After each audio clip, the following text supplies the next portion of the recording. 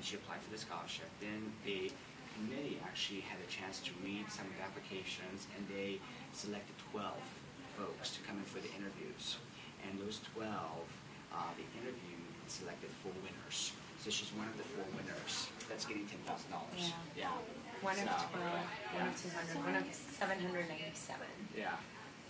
That was Because- the competition, because we Yeah. combined, we're responsible for the northeast region, but we separated sub-states to, to make one region. so- Yeah, they worked really hard, so it's fun to recognize Yeah. her.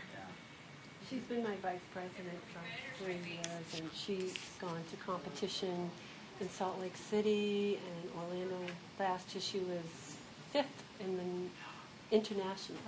That's Yeah. great. Yep, she's quite a girl. Which, which um, group is it? She it's in DECA, so they compete. She has competed in accounting, and she came fifth against hundreds of kids. Yeah, Yeah. it's really It's hard to do. Very hard to do. Wow.